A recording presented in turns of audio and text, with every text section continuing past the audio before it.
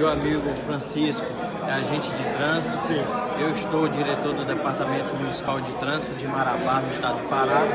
Estou fazendo esse curso para é, aumentar é, a grade curricular dos meus conhecimentos, tanto pessoal como profissional.